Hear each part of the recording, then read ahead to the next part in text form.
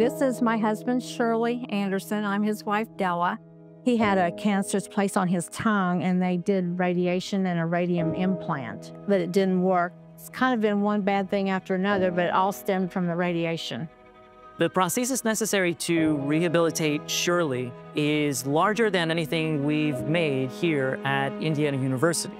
I knew there was a need for a digital solution. Travis and his colleagues are the first people in white coats to ever enter this space. He was like, hey, I have this really cool idea that you guys should get on board with. And we were like, yes, absolutely. Let's do it right now.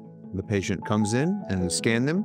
Then we take all of that scan data, we bring it into our software to do our design work. We print the molds on the 3D printer. Then we take those 3D printed molds, we invest those 3D printed molds with silicone, and then we take those silicone prostheses and we fit the patient. We've used 3D printing to replace probably about 75, 80% of the process in traditional prosthetic fabrication.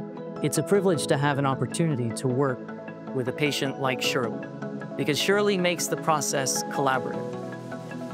Although it's likely the most significant challenge that I will ever face in my prosthetic career, I think it may be the most rewarding.